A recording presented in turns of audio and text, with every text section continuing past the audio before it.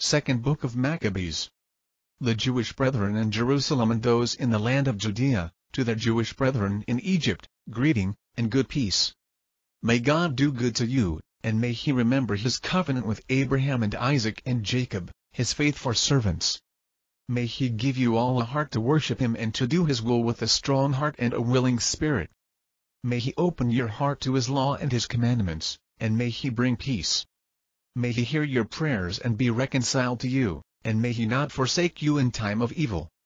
We are now praying for you here.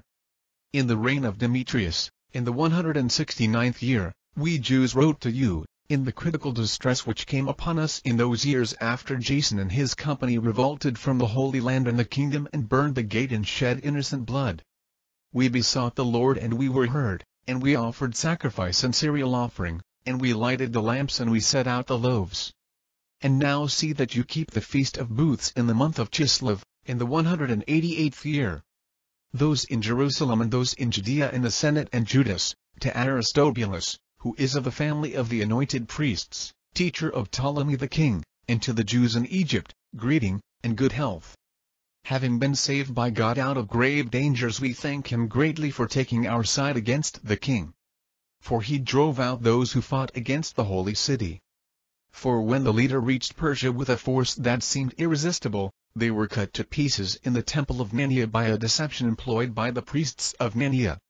For under pretext of intending to marry her, Antiochus came to the place together with his friends, to secure most of its treasures as a dowry. When the priests of the temple of Nanea had set out the treasures and Antiochus had come with a few men inside the wall of the sacred precinct, they closed the temple as soon as he entered it. Opening the secret door in the ceiling, they threw stones and struck down the leader and his men, and dismembered them and cut off their heads and threw them to the people outside.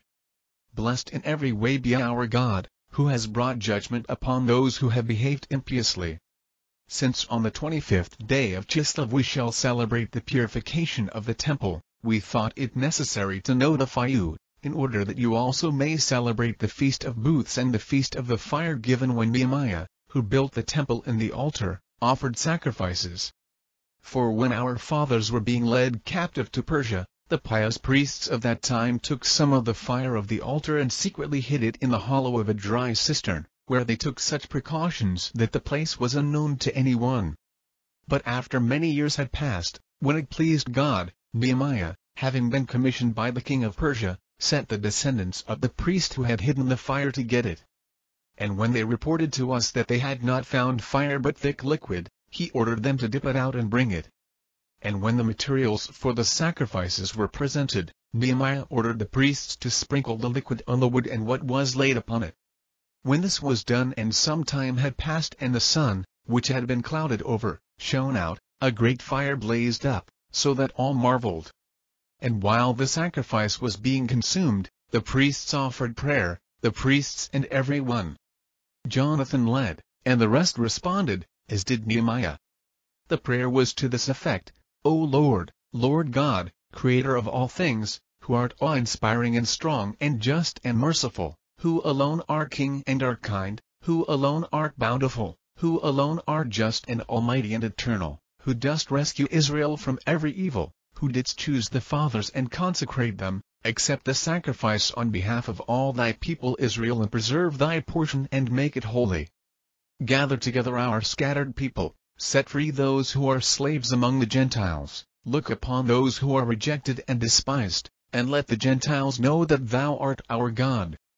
Afflict those who oppress and are insolent with pride. Plant thy people in thy holy place, as Moses said, then the priest sang the hymns. And when the materials of the sacrifice were consumed, Nehemiah ordered that the liquid that was left should be poured upon large stones. When this was done, a flame blazed up. But when the light from the altar shone back, it went out. When this matter became known, and it was reported to the king of the Persians that, in the place where the exiled priests had hidden the fire, the liquid had appeared with which Nehemiah and his associates had burned the materials of the sacrifice. The king investigated the matter, and enclosed the place and made it sacred. And with those persons whom the king favored he exchanged many excellent gifts. Nehemiah and his associates called this Nephthar, which means purification, but by most people it is called Naphtha.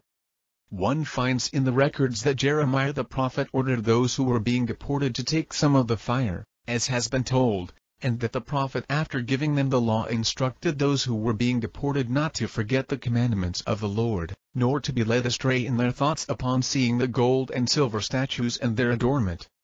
And with other similar words he exhorted them that the law should not depart from their hearts.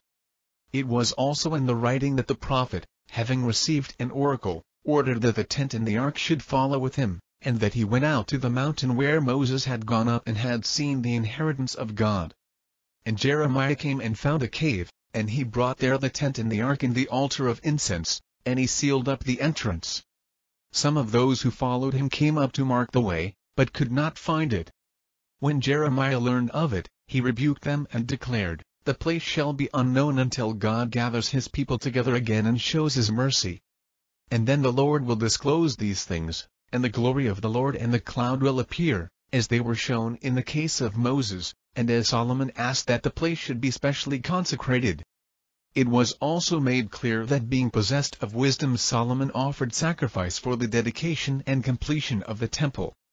Just as Moses prayed to the Lord, and fire came down from heaven and devoured the sacrifices, so also Solomon prayed, and the fire came down and consumed the whole burnt offerings. And Moses said, They were consumed because the sin offering had not been eaten. Likewise Solomon also kept the eight days.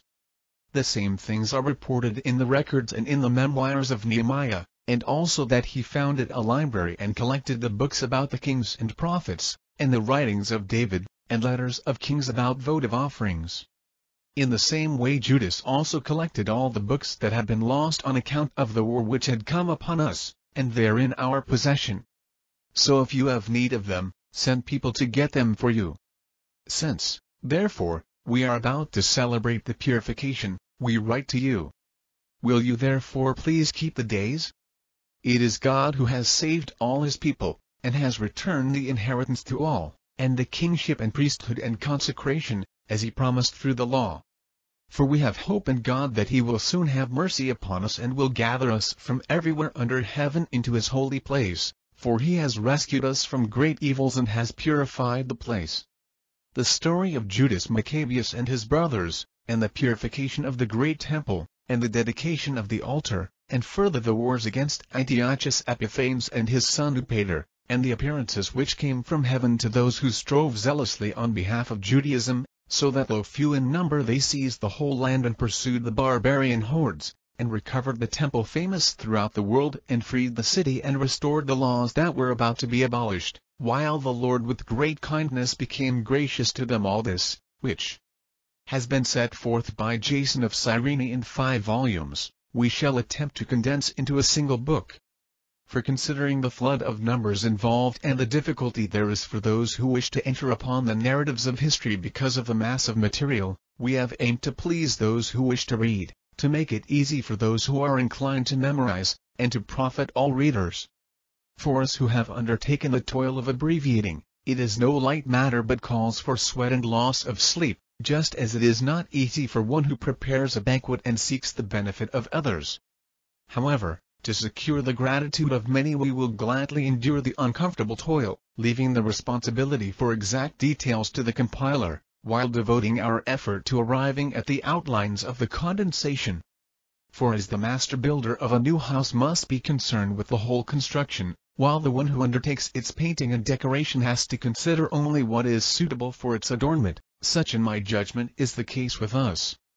It is the duty of the original historian to occupy the ground and to discuss matters from every side and to take trouble with details, but the one who recasts the narrative should be allowed to strive for brevity of expression and to forego exhaustive treatment. At this point therefore let us begin our narrative, adding only so much to what has already been said for it is foolish to lengthen the preface while cutting short the history itself. While the holy city was inhabited in unbroken peace and the laws were very well observed because of the piety of the high priest Onias and his hatred of wickedness, it came about that the kings themselves honored the place and glorified the temple with the finest presents, so that even Seleucus, the king of Asia, defrayed from his own revenues all the expenses connected with the service of the sacrifices. But a man named Simon, of the tribe of Benjamin, who had been made captain of the temple, had a disagreement with the high priest about the administration of the city market. And when he could not prevail over Onias he went to Apollonius of Tarsus, who at that time was governor of Coele and Phoenicia. He reported to him that the treasury in Jerusalem was full of untold sums of money, so that the amount of the funds could not be reckoned, and that they did not belong to the account of the sacrifices, but that it was possible for them to fall under the control of the king. When Apollonius met the king, he told him of the money about which he had been informed. The king chose Heliodorus, who was in charge of his affairs, and sent him with commands to effect the removal of the aforesaid money. Heliodorus at once set out on his journey, ostensibly to make a tour of inspection of the cities of Coele and Phoenicia, but in fact to carry out the king's purpose. When he had arrived at Jerusalem and had been kindly welcomed by the high priest of the city, he told about the disclosure that had been made and stated why he had come, and he inquired whether this really was the situation. The high priest explained that there were some deposits belonging to widows and orphans, and also some money of Hyrcanus, son of Tobias, a man of very prominent position, and that it totaled in all 400 talents of silver and 200 of gold. To such an extent the impious Simon had misrepresented the facts and he said that it was utterly impossible that wrong should be done to those people who had trusted in the holiness of the place and in the sanctity and inviolability of the temple which is honored throughout the whole world. But Heliodorus, because of the king's commands which he had, said that this money must in any case be confiscated for the king's treasury. So he set a day and went in to direct the inspection of these funds. There was no little distress throughout the whole city, the priests prostrated themselves before the altar in their priestly garments and called toward heaven upon him who had given the law about deposits, that he should keep them safe for those who had deposited them. To see the appearance of the high priest was to be wounded at heart, for his face and the change in his color disclosed the anguish of his soul. For terror and bodily trembling had come over the man, which plainly showed to those who looked at him the pain lodged in his heart. People also hurried out of their houses in crowds to make a general supplication because the holy place was about to be brought into contempt. Women, girded with sackcloth under their breasts, thronged the streets.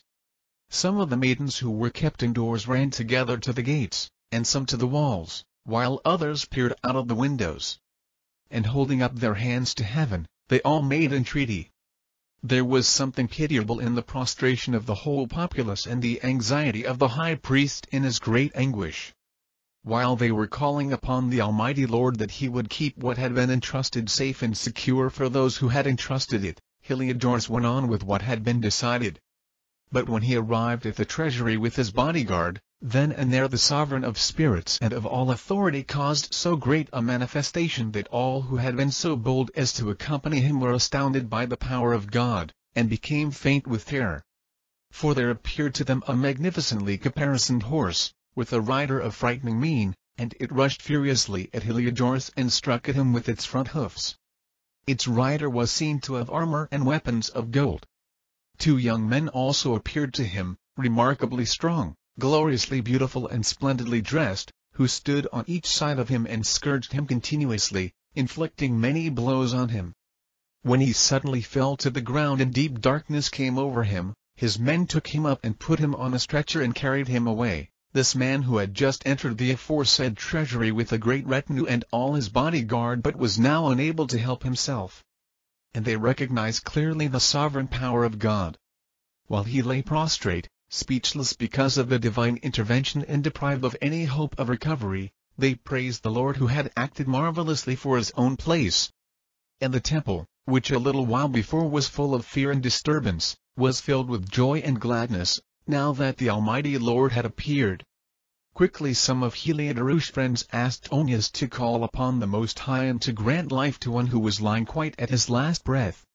And the high priest, fearing that the king might get the notion that some foul play had been perpetrated by the Jews with regard to Heliodorus, offered sacrifice for the man's recovery.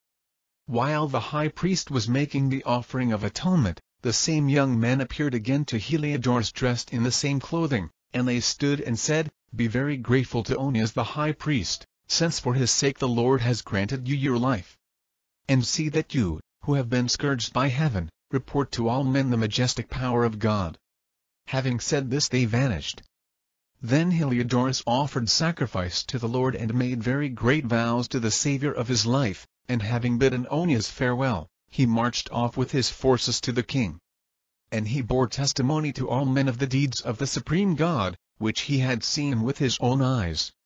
When the king asked Heliodorus what sort of person would be suitable to send on another mission to Jerusalem, he replied, If you have any enemy or plotter against your government, send him there, for you will get him back thoroughly scourged, if he escapes at all, for there certainly is about the place some power of God. For he who has his dwelling in heaven watches over that place himself and brings it aid, and he strikes and destroys those who come to do it injury. This was the outcome of the episode of Heliodorus and the protection of the treasury. The previously mentioned Simon, who had informed about the money against his own country, slandered Onias, saying that it was he who had incited Heliodorus and had been the real cause of the misfortune. He dared to designate as a plotter against the government the man who was the benefactor of the city, the protector of his fellow countrymen, and a zealot for the laws. When his hatred progressed to such a degree that even murders were committed by one of Simon's approved agents, Onias recognized that the rivalry was serious and that Apollonius, the son of Menestheus and governor of Coelesyria and Phoenicia, was intensifying the malice of Simon.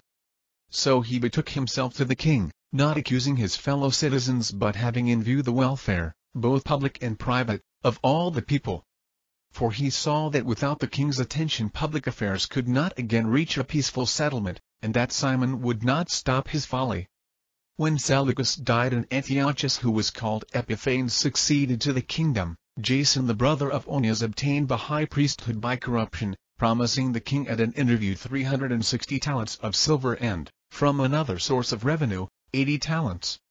In addition to this he promised to pay 150 more if permission were given to establish by his authority a gymnasium and a body of youth for it, and to enroll the men of Jerusalem as citizens of Antioch. When the king assented and Jason came to office, he at once shifted his countrymen over to the Greek way of life, he set aside the existing royal concessions to the Jews, secured through John the father of Eupolemus, who went on the mission to establish friendship and alliance with the Romans. And he destroyed the lawful ways of living and introduced new customs contrary to the law.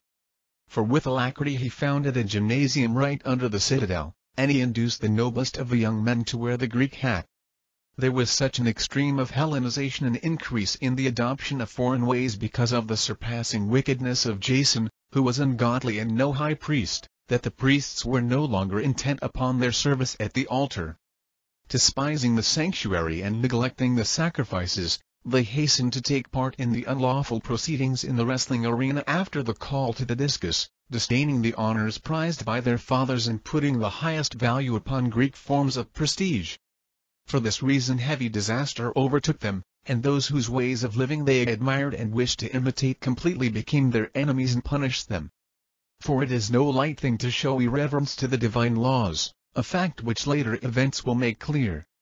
When the quadrennial games were being held at Tyre and the king was present, the vile Jason sent envoys, chosen as being Antiochian citizens from Jerusalem, to carry 300 silver drachmas for the sacrifice to Hercules. Those who carried the money, however, thought best not to use it for sacrifice, because that was inappropriate, but to expend it for another purpose. So this money was intended by the sender for the sacrifice to Hercules, but by the decision of its carriers it was applied to the construction of triremes. When Apollonius the son of Menestheus was sent to Egypt for the coronation of Philometor as king, Antiochus learned that Philometor had become hostile to his government, and he took measures for his own security. Therefore upon arriving at Joppa he proceeded to Jerusalem. He was welcomed magnificently by Jason and the city, and ushered in with a blaze of torches and with shouts. Then he marched into Phoenicia. After a period of three years Jason sent Menelaus, the brother of the previously mentioned Simon, to carry the money to the king and to complete the records of essential business. But he, when presented to the king, extolled him with an air of authority, and secured the high priesthood for himself, outbidding Jason by 300 talents of silver. After receiving the king's orders he returned, possessing no qualification for the high priesthood, but having the hot temper of a cruel tyrant and the rage of a savage wild beast. So Jason, who after supplanting his own brother was supplanted by another man, was driven as a fugitive into the land of Ammon. And Menelaus held the office, but he did not pay regularly any of the money promised to the king. When Sostratus the captain of the citadel kept requesting payment, for the collection of the revenue was his responsibility, the two of them were summoned by the king on account of this issue. Menelaus left his own brother Lysimachus as deputy in the high priesthood, while Sostratus left Crates, the commander of the Cyprian troops.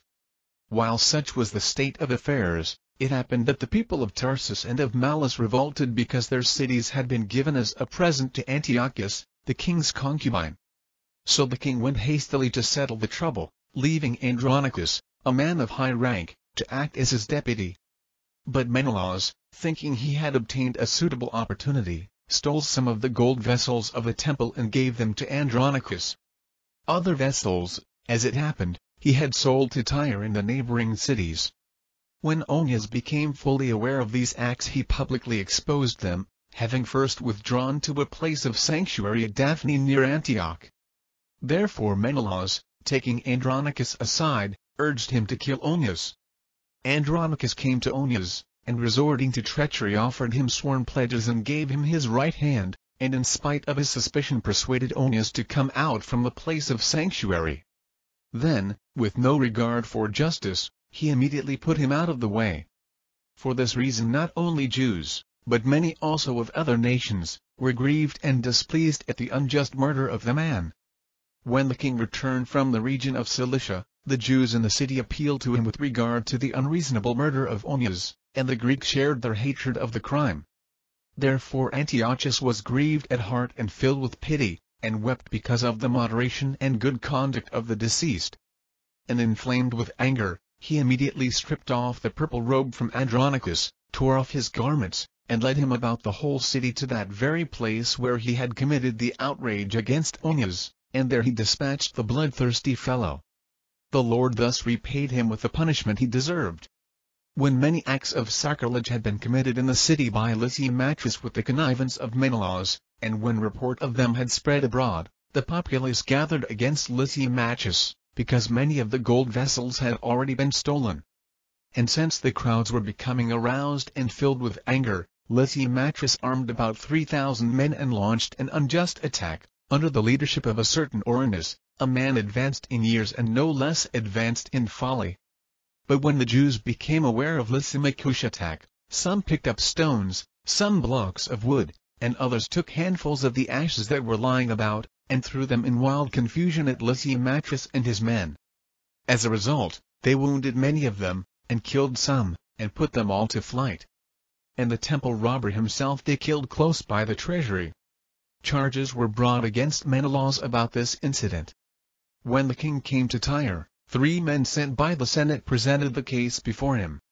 But Menelaus, already as good as beaten, promised a substantial bribe to Ptolemy son of Dorymanes to win over the king. Therefore Ptolemy, taking the king aside into a colonnade as if for refreshment, induced the king to change his mind.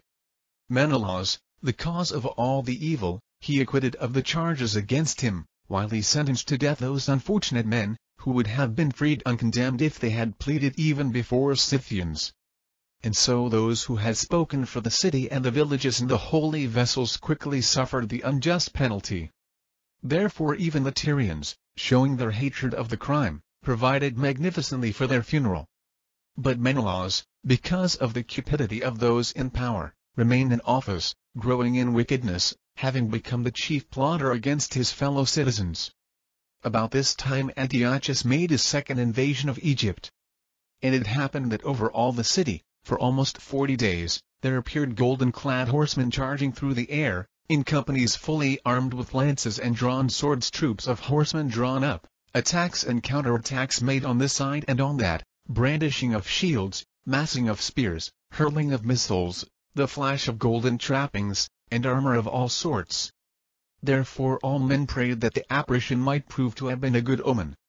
When a false rumor arose that Antiochus was dead, Jason took no less than a thousand men and suddenly made an assault upon the city. When the troops upon the wall had been forced back and at last the city was being taken, Menelaus took refuge in the citadel. But Jason kept relentlessly slaughtering his fellow citizens, not realizing that success at the cost of one's kindred is the greatest misfortune, but imagining that he was setting up trophies of victory over enemies and not over fellow countrymen. He did not gain control of the government, however, and in the end got only disgrace from his conspiracy, and fled again into the country of the Ammonites. Finally he met a miserable end. Accused before Aretas the ruler of the Arabs, fleeing from city to city, pursued by all men, hated as a rebel against the laws, and abhorred as the executioner of his country and his fellow citizens, he was cast ashore in Egypt. And he who had driven many from their own country into exile died in exile, having embarked to go to the Lacedaemonians in hope of finding protection because of their kinship. He who had cast out many to lie unburied had no one to mourn for him. He had no funeral of any sort and no place in the tomb of his fathers. When news of what had happened reached the king, he took it to mean that Judea was in revolt. So, raging inwardly, he left Egypt and took the city by storm. And he commanded his soldiers to cut down relentlessly everyone they met and to slay those who went into the houses. Then there was killing of young and old, destruction of boys, women, and children, and slaughter of virgins and infants. Within the total of three days 80,000 were destroyed, 40,000 in hand-to-hand fighting, and as many were sold into slavery as were slain.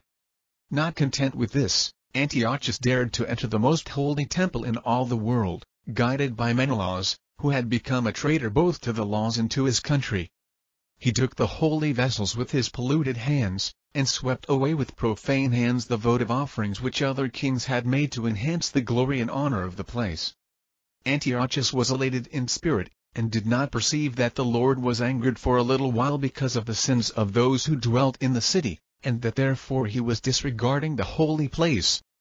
But if it had not happened that they were involved in many sins, this man would have been scourged and turned back from his rash act as soon as he came forward, just as Heliodorus was, whom Seleucus the king sent to inspect the treasury. But the Lord did not choose the nation for the sake of the holy place, but the place for the sake of the nation. Therefore the place itself shared in the misfortunes that befell the nation and afterward participated in its benefits. And what was forsaken in the wrath of the Almighty was restored again in all its glory when the great Lord became reconciled. So Antiochus carried off eighteen hundred talents from the temple, and hurried away to Antioch, thinking in his arrogance that he could sail on the land and walk on the sea, because his mind was elated.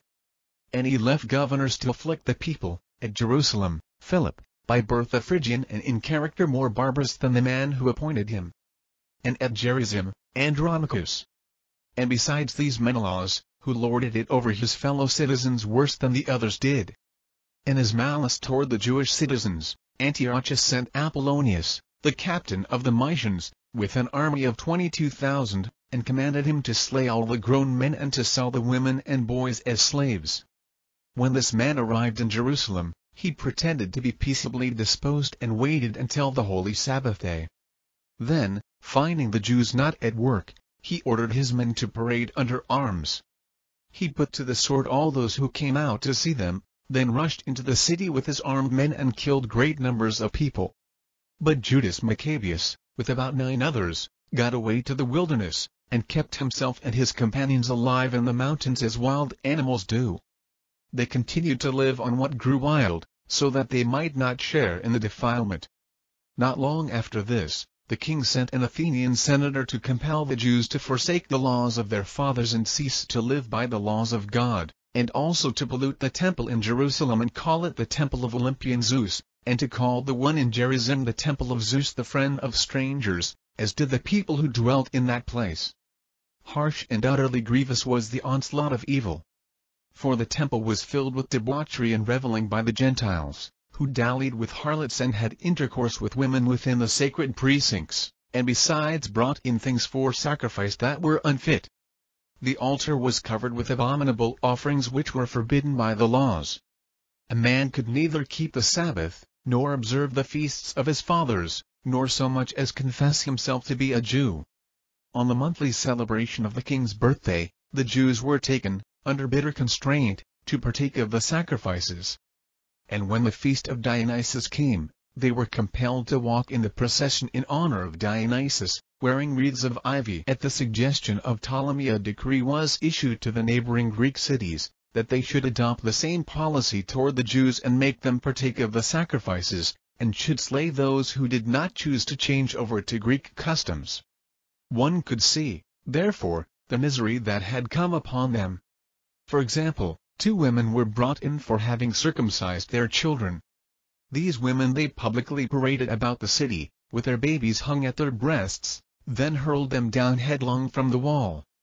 Others who had assembled in the caves nearby, to observe the seventh day secretly, were betrayed to Philip and were all burned together, because their piety kept them from defending themselves, in view of their regard for that most holy day.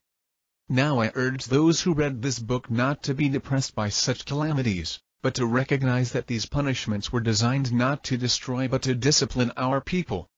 In fact, not to let the impious alone for long, but to punish them immediately, is a sign of great kindness. For in the case of the other nations the Lord waits patiently to punish them until they have reached the full measure of their sins. But he does not deal in this way with us, in order that he may not take vengeance on us afterward when our sins have reached their height therefore he never withdraws his mercy from us.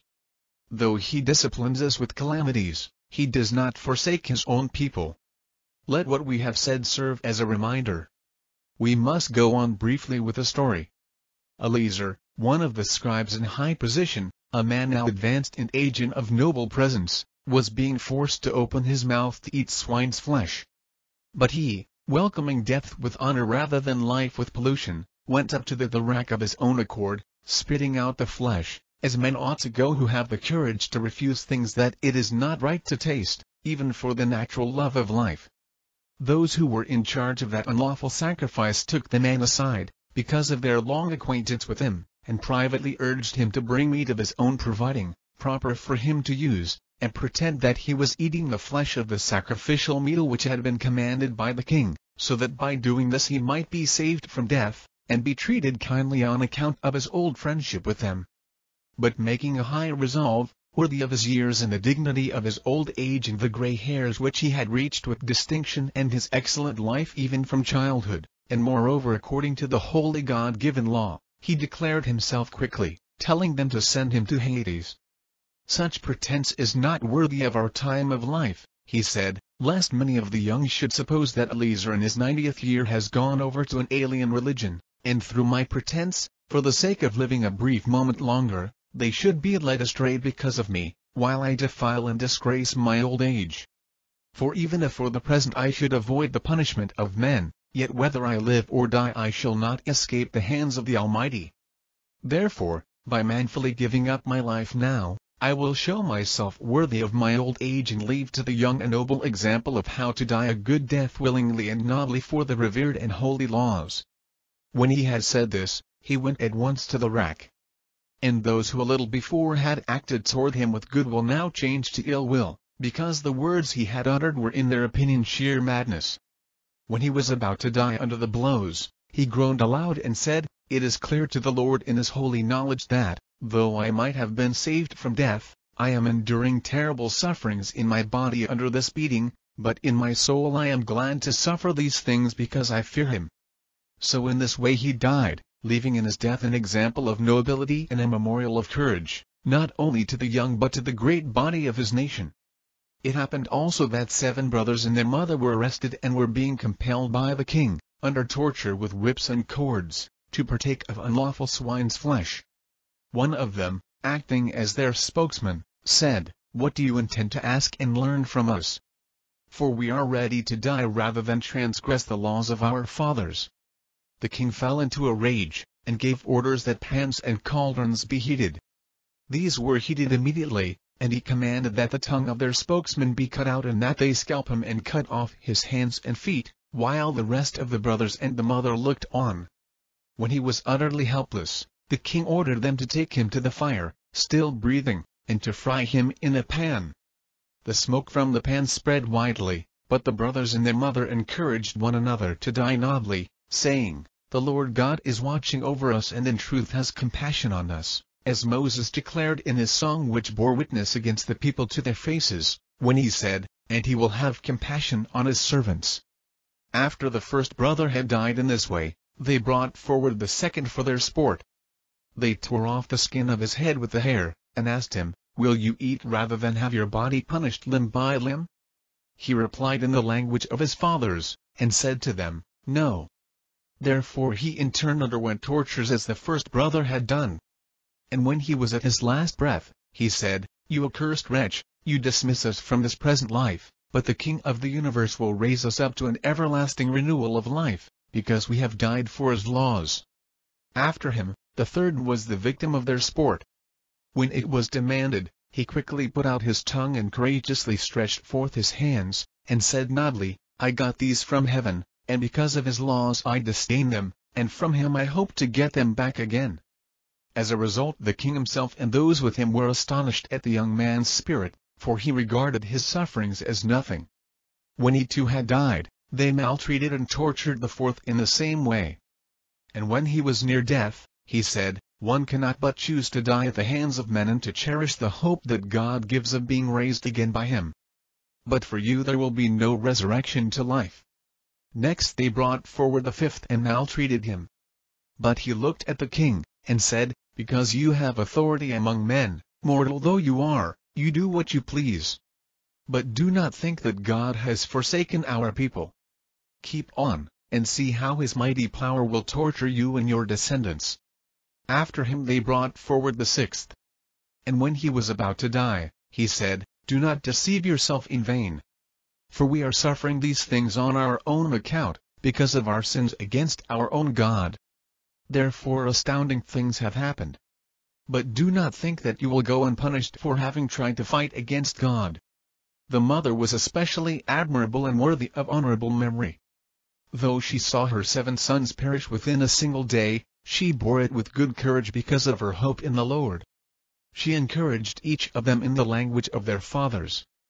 Filled with a noble spirit, she fired her woman's reasoning with a man's courage, and said to them, I do not know how you came into being in my womb. It was not I who gave you life and breath, nor I who set in order the elements within each of you. Therefore the Creator of the world, who shaped the beginning of man and devised the origin of all things, will in his mercy give life and breath back to you again, since you now forget yourselves for the sake of his laws. Antiochus felt that he was being treated with contempt, and he was suspicious of her reproachful tone. The youngest brother being still alive, Antiochus not only appealed to him in words, but promised with oaths that he would make him rich and enviable if he would turn from the ways of his fathers, and that he would take him for his friend and entrust him with public affairs. Since the young man would not listen to him at all, the king called the mother to him and urged her to advise the youth to save himself. After much urging on his part, she undertook to persuade her son. But, leaning close to him, she spoke in their native tongue as follows, deriding the cruel tyrant, My son, have pity on me. I carried you nine months in my womb, and nursed you for three years, and have reared you and brought you up to this point in your life, and have taken care of you. I beseech you, my child, to look at the heaven and the earth and see everything that is in them, and recognize that God did not make them out of things that existed. Thus also mankind comes into being. Do not fear this butcher, but prove worthy of your brothers. Accept death, so that in God's mercy I may get you back again with your brothers. While she was still speaking, the young man said, What are you waiting for? I will not obey the king's command, but I obey the command of the law that was given to our fathers through Moses. But you, who have contrived all sorts of evil against the Hebrews, will certainly not escape the hands of God. For we are suffering because of our own sins. And if our living Lord is angry for a little while, to rebuke and discipline us, he will again be reconciled with his own servants. But you, unholy wretch, you most defiled of all men, do not be elated in vain and puffed up by uncertain hopes, when you raise your hand against the children of heaven. You have not yet escaped the judgment of the Almighty, all-seeing God. for our brothers after enduring a brief suffering have drunk of ever-flowing life under God's covenant. But you, by the judgment of God, will receive just punishment for your arrogance. I, like my brothers, give up body and life for the laws of our fathers, appealing to God to show mercy soon to our nation and by afflictions and plagues to make you confess that He alone is God, and through me and my brothers to bring to an end the wrath of the Almighty which has justly fallen on our whole nation. The king fell into a rage, and handled him worse than the others, being exasperated at his scorn. So he died in his integrity, putting his whole trust in the Lord. Last of all, the mother died, after her sons. Let this be enough, then, about the eating of sacrifices and the extreme tortures. But Judas, who was also called Maccabeus, and his companions secretly entered the villages and summoned their kinsmen and enlisted those who had continued in the Jewish faith, and so they gathered about six thousand men.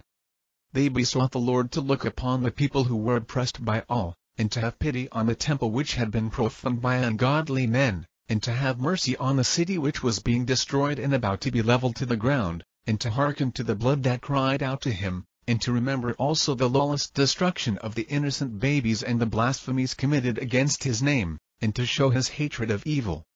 As soon as Maccabeus got his army organized, the Gentiles could not withstand him, for the wrath of the Lord had turned to mercy. Coming without warning, he would set fire to towns and villages. He captured strategic positions and put to flight not a few of the enemy. He found the nights most advantageous for such attacks, and talk of his valor spread everywhere. When Philip saw that the man was gaining ground little by little, and that he was pushing ahead with more frequent successes, he wrote to Ptolemy, the governor of Coele and Phoenicia, for aid to the king's government.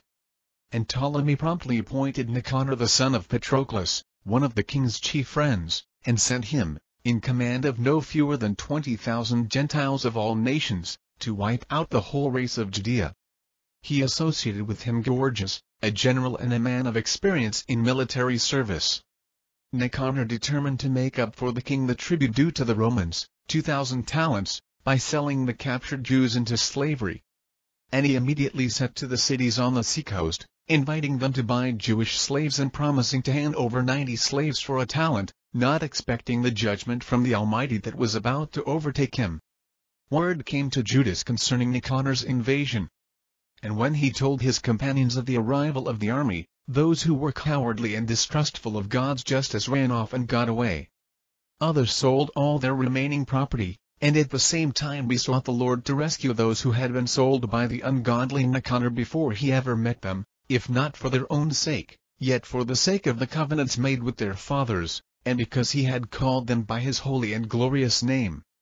But Maccabeus gathered his men together, to the number six thousand, and exhorted them not to be frightened by the enemy and not to fear the great multitude of Gentiles who were wickedly coming against them, but to fight nobly, keeping before their eyes the lawless outrage which the Gentiles had committed against the holy place, and the torture of the derided city, and besides, the overthrow of their ancestral way of life.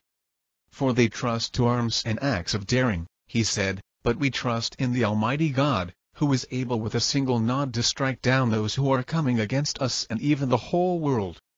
Moreover, he told them of the times when help came to their ancestors.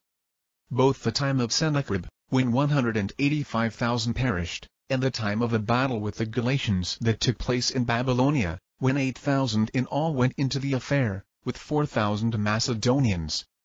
And when the Macedonians were hard pressed, the 8,000, by the help that came to them from heaven, destroyed 120,000 and took much booty. With these words he filled them with good courage and made them ready to die for their laws and their country. Then he divided his army into four parts. He appointed his brothers also, Simon and Joseph and Jonathan, each to command a division, putting fifteen hundred men under each. Besides, he appointed Eleazar to read aloud from the holy book, and gave the watchword, God's help. Then, leading the first division himself, he joined battle with Nicanor. With the Almighty as their ally, they slew more than 9,000 of the enemy, and wounded and disabled most of Nicanor's army, and forced them all to flee. They captured the money of those who had come to buy them as slaves. After pursuing them for some distance, they were obliged to return because the hour was late for it was the day before the Sabbath, and for that reason they did not continue their pursuit. And when they had collected the arms of the enemy and stripped them of their spoils, they kept the Sabbath, giving great praise and thanks to the Lord, who had preserved them for the day and allotted it to them as the beginning of mercy. After the Sabbath they gave some of the spoils to those who had been tortured and to the widows and orphans, and distributed the rest among themselves and their children. When they had done this, they made common supplication and besought the merciful Lord to be wholly reconciled with his servants. In encounters with the forces of Timothy and Bacchides they killed more than 20,000 of them and got possession of some exceedingly high strongholds, and they divided very much plunder, giving to those who had been tortured and to the orphans and widows, and also to the aged, shares equal to their own. Collecting the arms of the enemy, they stored them all carefully in strategic places, and carried the rest of the spoils to Jerusalem. They killed the commander of Timothy's forces, a most unholy man, and one who had greatly troubled the Jews. While they were celebrating the victory in the city of their fathers, they burned those who had set fire to the sacred gates, Callisthenes and some others, who had fled into one little house. So these received the proper recompense for their impiety. The thrice accursed Nicanor, who had brought the thousand merchants to buy the Jews, having been humbled with the help of the Lord by opponents whom he regarded as of the least account, took off his splendid uniform and made his way alone like a runaway slave across the country till he reached Antioch, having succeeded chiefly in the destruction of his own army. Thus he who had undertaken to secure tribute for the Romans by the capture of the people of Jerusalem proclaimed that the Jews had a defender, and that therefore the Jews were invulnerable, because they followed the laws ordained by him. About that time, as it happened, Antiochus had retreated in disorder from the region of Persia, for he had entered the city called Persepolis, and attempted to rob the temples and control the city. Therefore the people rushed to the rescue with arms, and Antiochus and his men were defeated, with the result that Antiochus was put to flight by the inhabitants and beat a shameful retreat. While he was in Ecbatana, news came to him of what had happened to Nicanor and the forces of Timothy. Transported with rage, he conceived the idea of turning upon the Jews the injury done by those who had put him to flight so he ordered his charioteer to drive without stopping until he completed the journey. But the judgment of heaven rode with him. For in his arrogance he said, When I get there I will make Jerusalem a cemetery of Jews.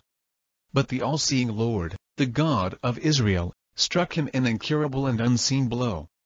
As soon as he ceased speaking he was seized with a pain in his bowels for which there was no relief and with sharp internal tortures and that very justly, for he had tortured the bowels of others with many and strange inflictions. Yet he did not in any way stop his insolence, but was even more filled with arrogance, breathing fire in his rage against the Jews, and giving orders to hasten the journey.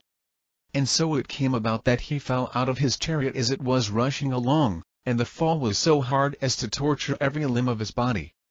Thus he who had just been thinking that he could command the waves of the sea, in his superhuman arrogance, and imagining that he could weigh the high mountains in a balance, was brought down to earth and carried in a litter, making the power of God manifest to all.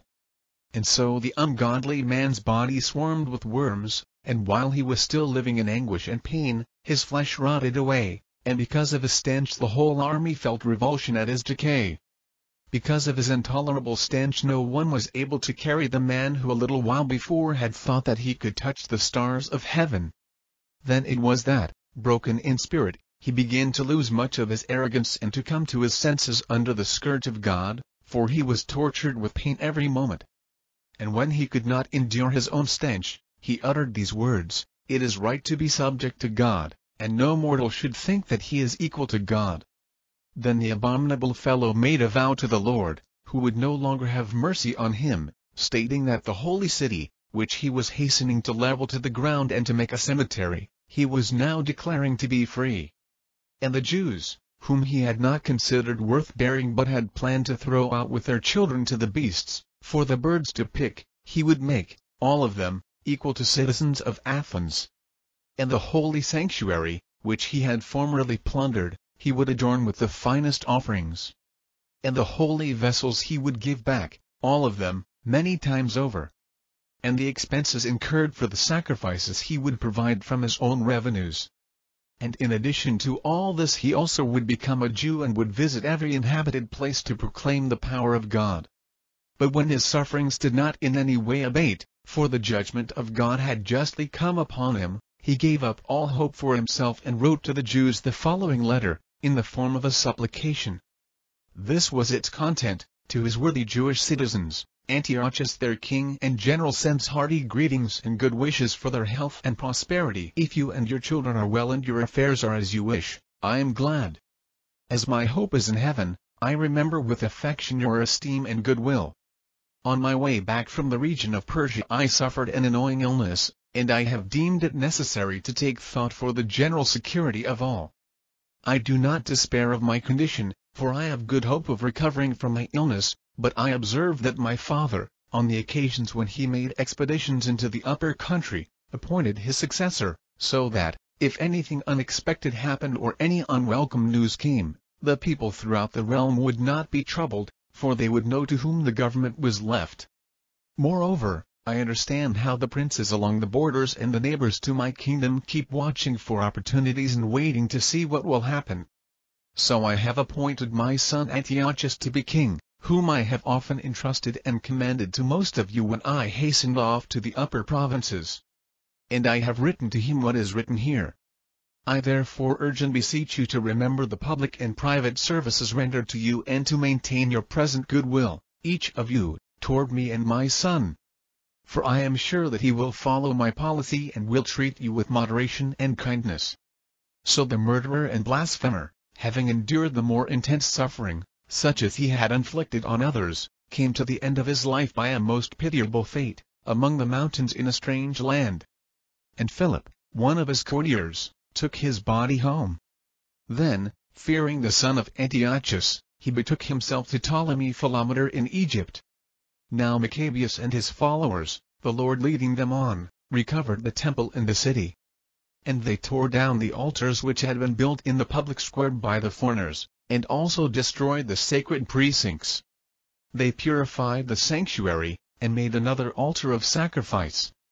Then, striking fire out of flint, they offered sacrifices, after a lapse of two years, and they burnt incense and lighted lamps and set out the bread of the presence.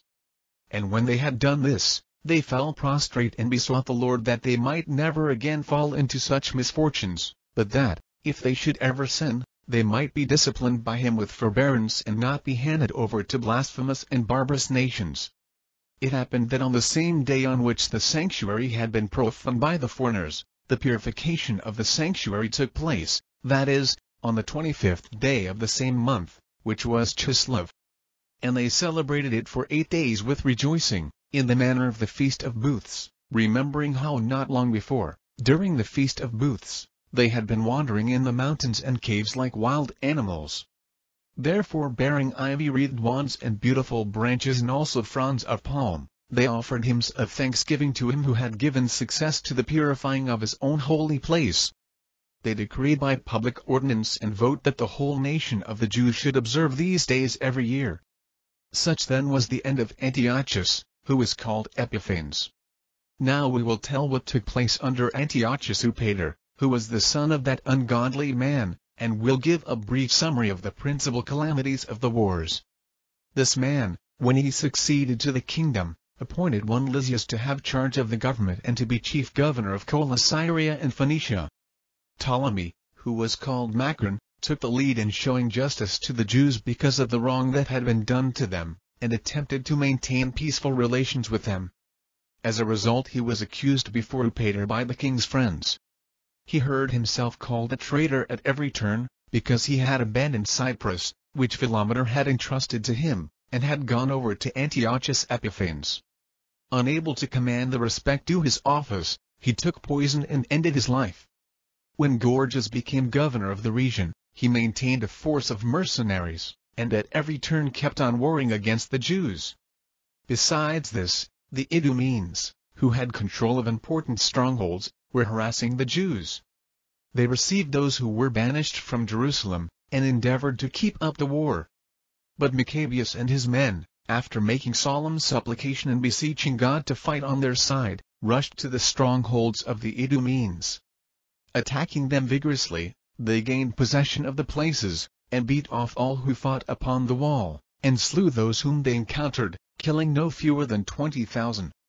When no less than nine thousand took refuge in two very strong towers well equipped to withstand a siege, Maccabeus left Simon and Joseph, and also Zacchaeus and his men, a force sufficient to besiege them. And he himself set off for places where he was more urgently needed. But the men with Simon, who were money hungry, were bribed by some of those who were in the towers, and on receiving 70,000 drachmas let some of them slip away. When word of what had happened came to Maccabeus, he gathered the leaders of the people, and accused these men of having sold their brethren for money by setting their enemies free to fight against them. Then he slew these men who had turned traitor, and immediately captured the two towers. Having success at arms in everything he undertook, he destroyed more than 20,000 in the two strongholds. Now Timothy, who had been defeated by the Jews before, gathered a tremendous force of mercenaries and collected the cavalry from Asia in no small number. He came on, intending to take Judea by storm. As he drew near, Maccabeus and his men sprinkled dust upon their heads and girded their loins with sackcloth, in supplication to God. Falling upon the steps before the altar, they besought him to be gracious to them and to be an enemy to their enemies and an adversary to their adversaries, as the law declares. And rising from their prayer they took up their arms and advanced a considerable distance from the city. And when they came near to the enemy they halted. Just as dawn was breaking, the two armies joined battle, the one having as pledge of success and victory not only their valor but their reliance upon the Lord, while the other made rage their leader in the fight. When the battle became fierce, there appeared to the enemy from heaven five resplendent men on horses with golden bridles, and they were leading the Jews. Surrounding Maccabeus and protecting him with their own armor and weapons, they kept him from being wounded. And they showered arrows and thunderbolts upon the enemy, so that, confused and blinded, they were thrown into disorder and cut to pieces. 20,500 were slaughtered, besides 600 horsemen. Timothy himself fled to a stronghold called Gazara, especially well garrisoned, where Chaereas was commander. Then Maccabeus and his men were glad, and they besieged the fort for four days. The men within, relying on the strength of the place, blasphemed terribly and hurled out wicked words. But at dawn of the fifth day, twenty young men in the army of Maccabeus, fired with anger because of the blasphemies, bravely stormed the wall and with savage fury cut down everyone they met. Others who came up in the same way wheeled around against the defenders and set fire to the towers. They kindled fires and burned the blasphemers alive. Others broke open the gates and let in the rest of the force, and they occupied the city. They killed Timothy, who was hidden in a cistern, and his brother Chaereas, and Apollophanes. When they had accomplished these things, with hymns and thanksgivings they blessed the Lord who shows great kindness to Israel and gives them the victory. Very soon after this, Lysias, the king's guardian and kinsman, who was in charge of the government, being vexed at what had happened, gathered about 80,000 men and all his cavalry and came against the Jews. He intended to make the city a home for Greeks, and to levy tribute on the temple as he did on the sacred places of the other nations, and to put up the high priesthood for sale every year. He took no account whatever of the power of God, but was elated with his ten thousands of infantry, and his thousands of cavalry, and his eighty elephants.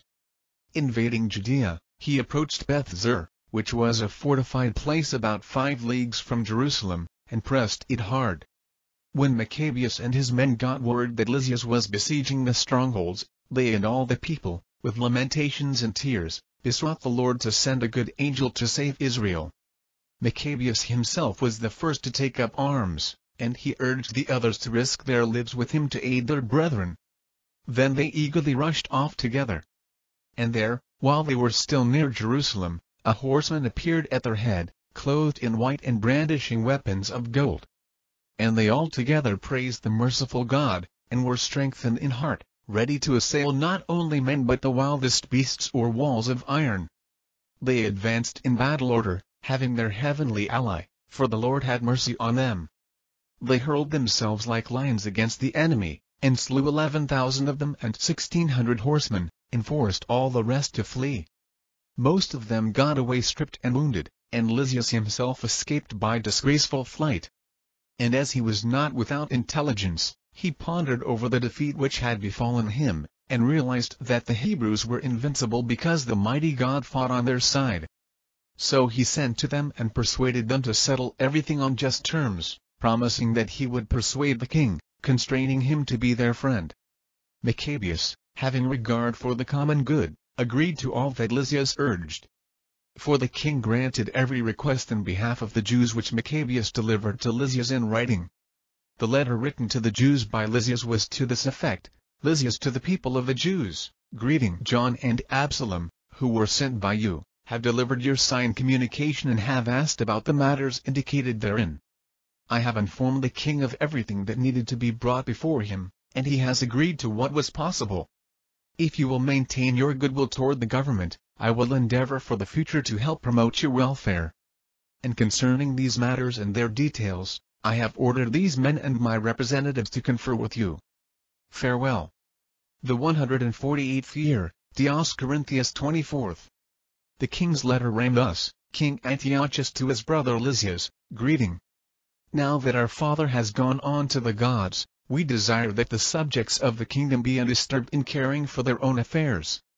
We have heard that the Jews do not consent to our father's change to Greek customs but prefer their own way of living and ask that their own customs be allowed them. Accordingly, since we choose that this nation also be free from disturbance, our decision is that their temple be restored to them and that they live according to the customs of their ancestors. You will do well, therefore, to send word to them and give them pledges of friendship, so that they may know our policy and be of good cheer and go on happily in the conduct of their own affairs. To the nation the king's letter was as follows, King Antiochus to the Senate of the Jews and to the other Jews, greeting. If you are well, it is as we desire. We also are in good health. Menelaus has informed us that you wish to return home and look after your own affairs.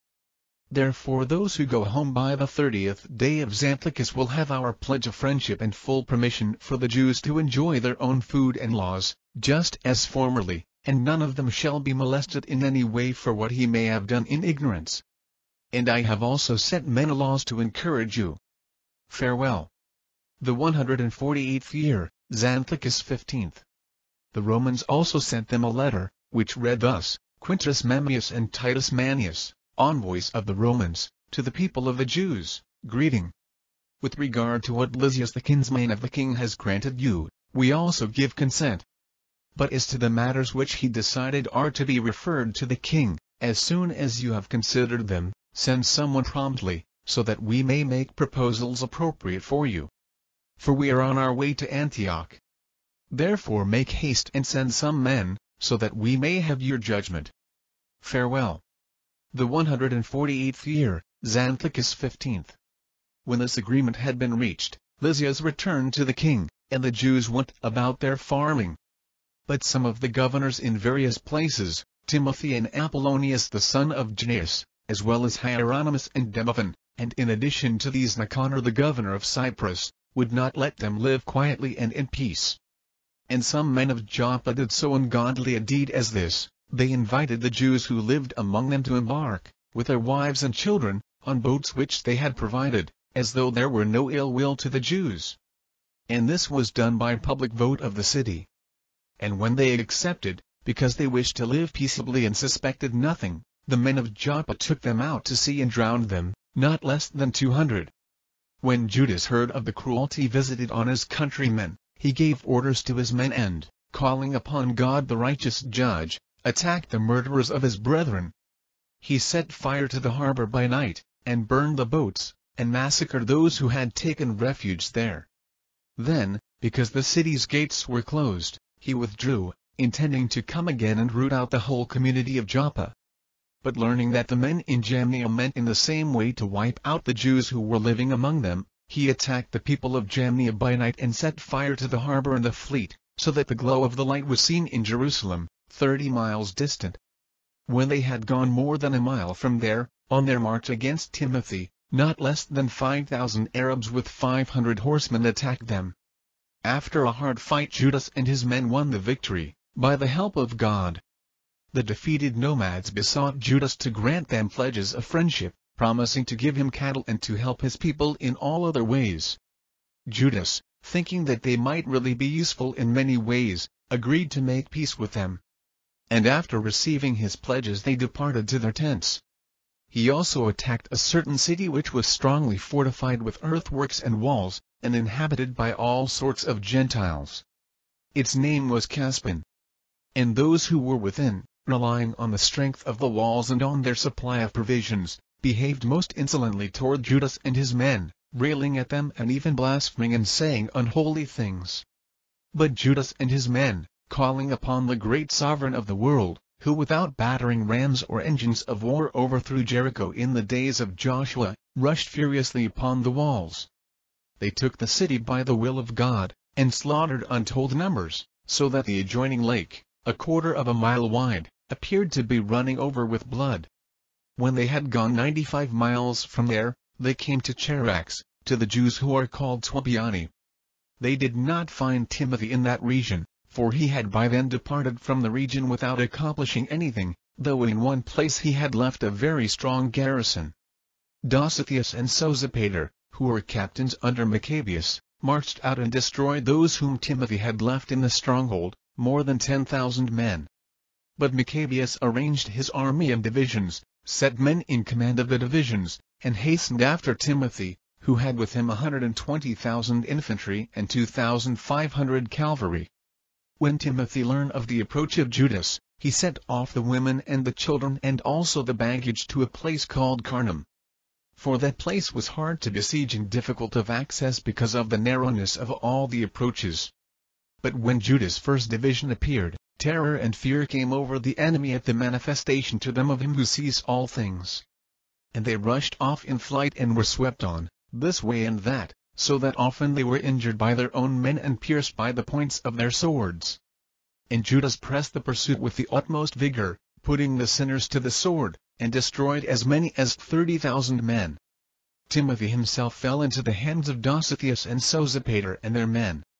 With great guile he besought them to let him go in safety, because he held the parents of most of them and the brothers of some and no consideration would be shown them.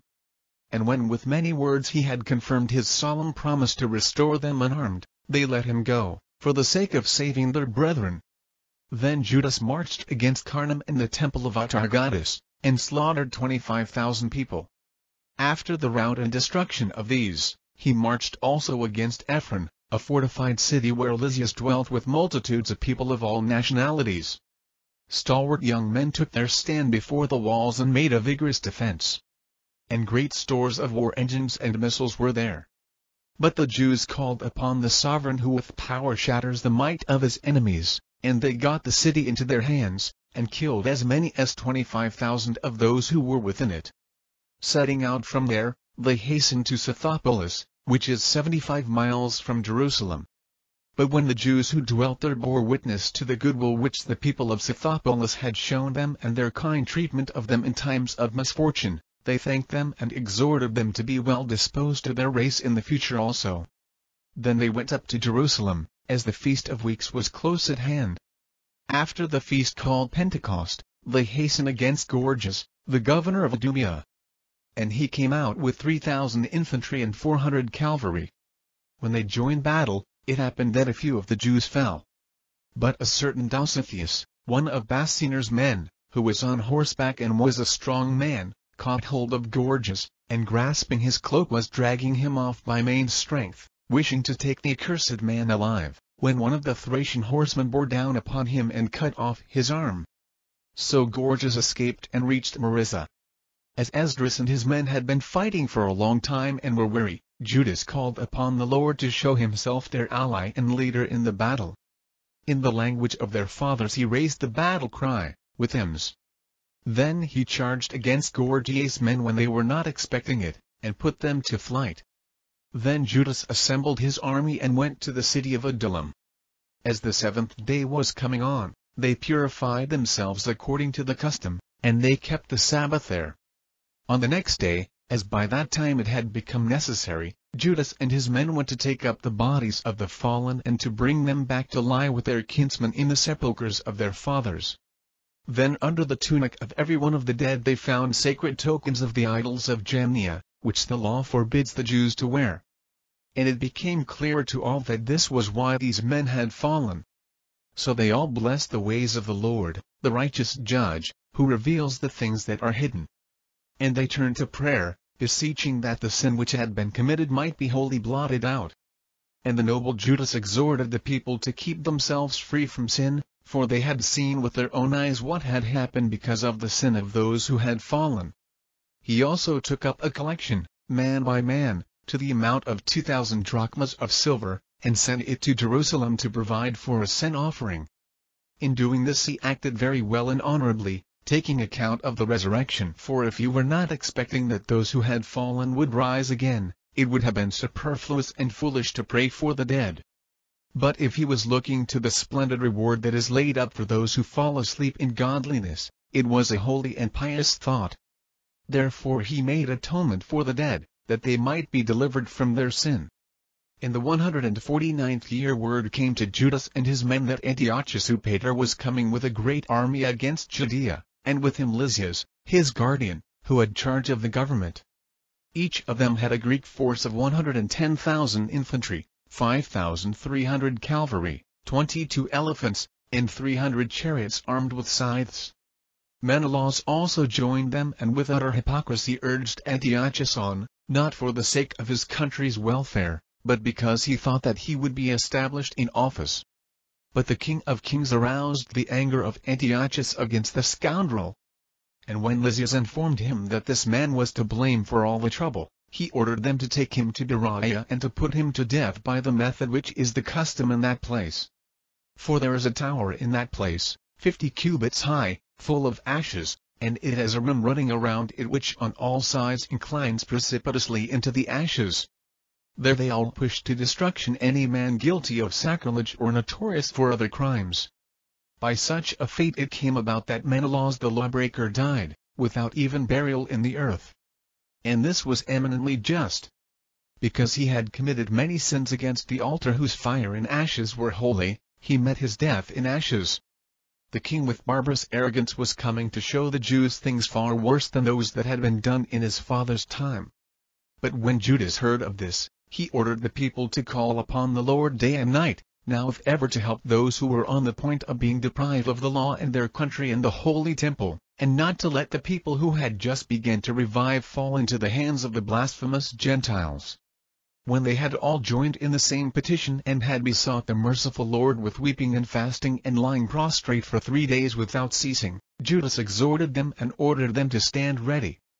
After consulting privately with the elders, he determined to march out and decide the matter by the help of God before the king's army could enter Judea and get possession of the city. So, committing the decision to the Creator of the world and exhorting his men to fight nobly to the death for the laws, temple, city, country, and commonwealth, he pitched his camp near Modein.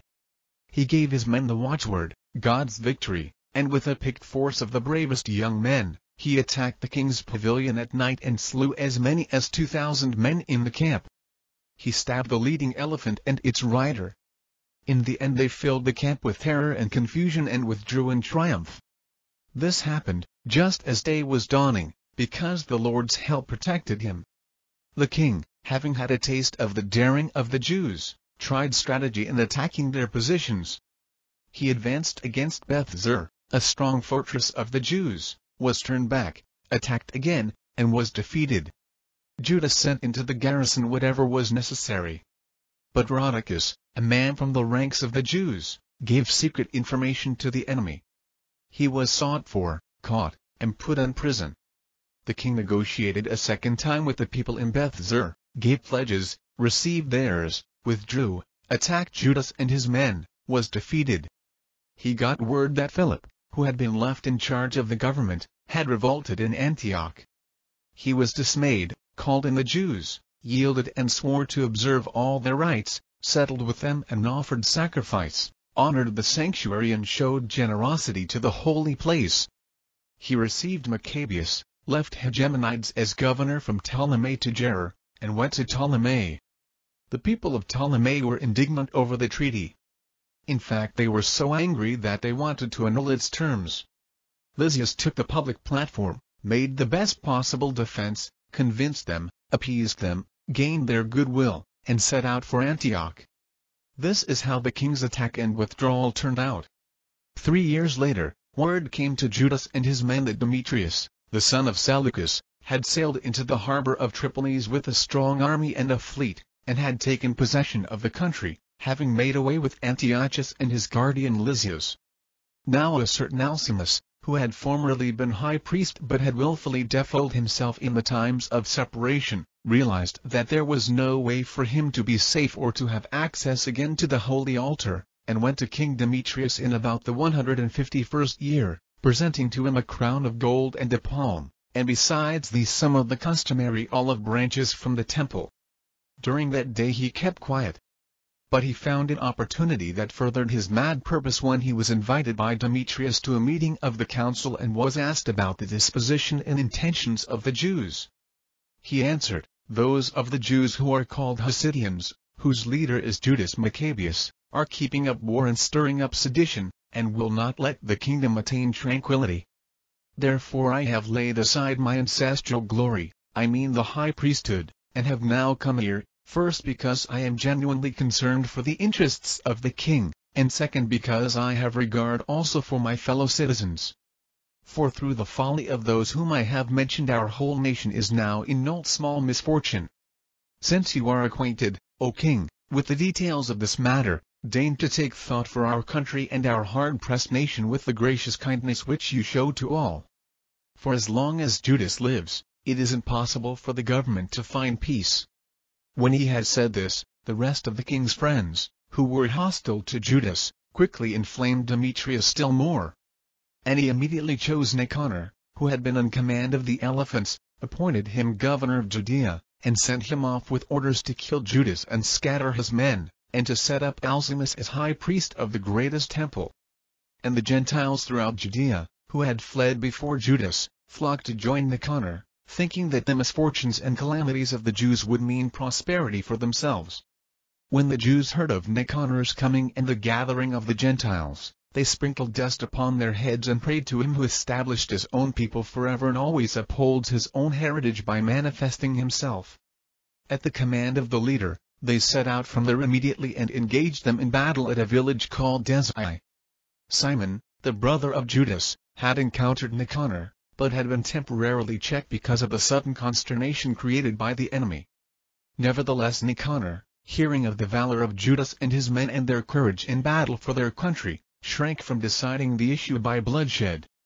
Therefore he sent Posidonius and Theodotus and Mattathias to give and receive pledges of friendship.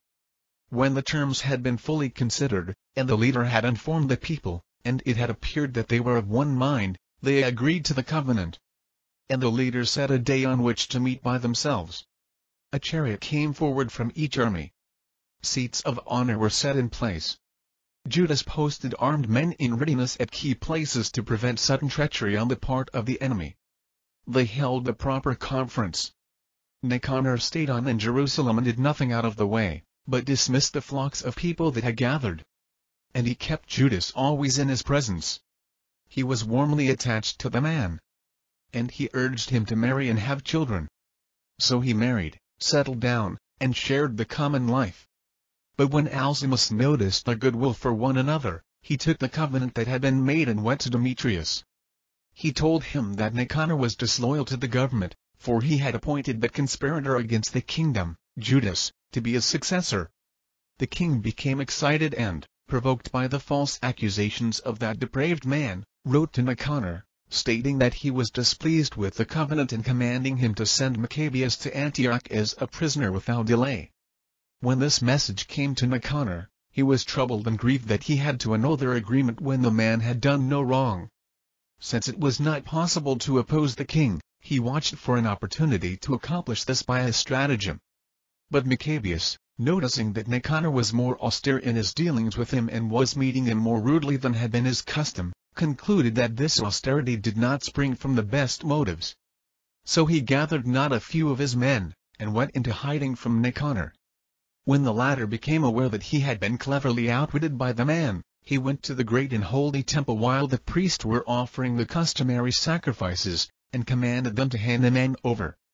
And when they declared on oath that they did not know where the man was whom he sought, he stretched out his right hand toward the sanctuary, and swore this oath, If you do not hand Judas over to me as a prisoner, I will level this precinct of God to the ground and tear down the altar, and I will build here a splendid temple to Dionysus.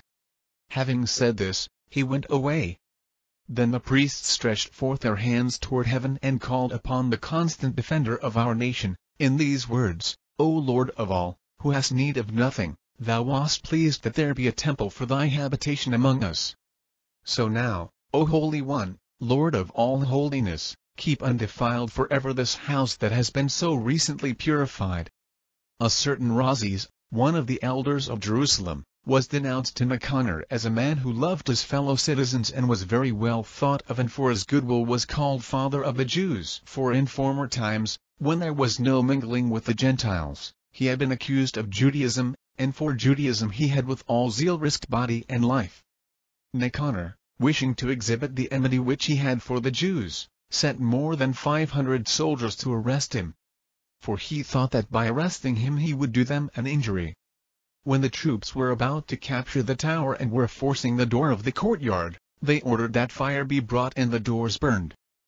Being surrounded, Rhazes fell upon his own sword, preferring to die nobly rather than to fall into the hands of sinners and suffer outrages unworthy of his noble birth. But in the heat of the struggle he did not hit exactly, and the crowd was now rushing in through the doors.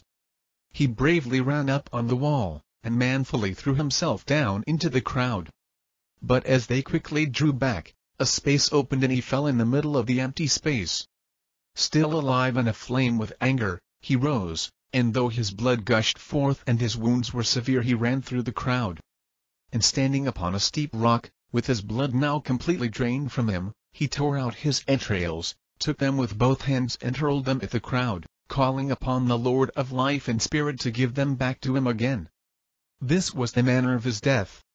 When Nicanor heard that Judas and his men were in the region of Samaria, he made plans to attack them with complete safety on the day of rest. And when the Jews who were compelled to follow him said, Do not destroy so savagely and barbarously, but show respect for the day which he who sees all things has honored and hallowed above other days, the thrice accursed wretch asked if there were a sovereign in heaven who had commanded the keeping of the Sabbath day. And when they declared, It is the living Lord himself, the sovereign in heaven, who ordered us to observe the seventh day, he replied, And I am a sovereign also, on earth, and I command you to take up arms and finish the king's business. Nevertheless, he did not succeed in carrying out his abominable design. This Nicanor in his utter boastfulness and arrogance had determined to erect a public monument of victory over Judas and his men. But Maccabeus did not cease to trust with all confidence that he would get help from the Lord and he exhorted his men not to fear the attack of the Gentiles, but to keep in mind the former times when help had come to them from heaven, and now to look for the victory which the Almighty would give them. Encouraging them from the law and the prophets, and reminding them also of the struggles they had won, he made them the more eager. And when he had aroused their courage, he gave his orders, at the same time pointing out the perfidy of the Gentiles and their violation of oaths. He armed each of them not so much with confidence in shields and spears as with the inspiration of brave words, and he cheered them all by relating a dream, a sort of vision, which was worthy of belief. What he saw was this, Onias, who had been high priest, a noble and good man, of modest bearing and gentle manner, one who spoke fittingly and had been trained from childhood in all that belongs to excellence, was praying with outstretched hands for the whole body of the Jews. Then likewise a man appeared, distinguished by his gray hair and dignity, and of marvelous majesty and authority. And Onias spoke, saying, This is a man who loves the brethren and prays much for the people in the holy city, Jeremiah, the prophet of God. Jeremiah stretched out his right hand and gave to Judas a golden sword, and as he gave it he addressed him thus, Take this holy sword, a gift from God, with which you will strike down your adversaries. Encouraged by the words of Judas, so noble and so effective in arousing valor and awaking manliness in the souls of the young, they determined not to carry on a campaign but to attack bravely, and to decide the matter, by fighting hand to hand with all courage, because the city and the sanctuary and the temple were in danger. Their concern for wives and children, and also for brethren and relatives, lay upon them less heavily. Their greatest and first fear was for the consecrated sanctuary. And those who had to remain in the city were in no little distress, being anxious over the encounter in the open country. When all were now looking forward to the coming decision, and the enemy was already close at hand with their army drawn up for battle, the elephants strategically stationed and the cavalry deployed on the flanks, Maccabeus, perceiving the hosts that were before him and the varied supply of arms in the savage savagery of the elephants, stretched out his hands toward heaven and called upon the Lord who works wonders. For he knew that it is not by arms, but as the Lord decides, that he gains the victory for those who deserve it. And he called upon him in these words, O Lord, thou didst send thy angel in the time of Hezekiah king of Judea, and he slew fully a hundred and eighty-five thousand in the camp of Sennacherib.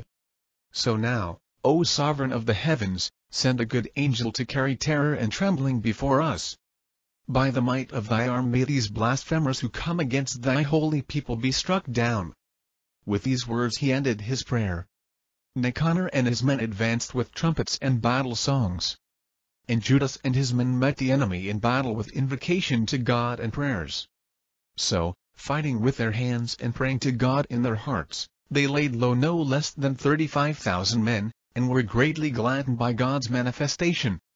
When the action was over and they were returning with joy, they recognized Nicanor, lying dead, in full armor. Then there was shouting and tumult, and they blessed the sovereign Lord in the language of their fathers. And the man who was ever in body and soul the defender of his fellow citizens, the man who maintained his youthful goodwill toward his countrymen, ordered them to cut off Nicanor's head and arm and carry them to Jerusalem. And when he arrived there and had called his countrymen together and stationed the priests before the altar, he sent for those who were in the citadel.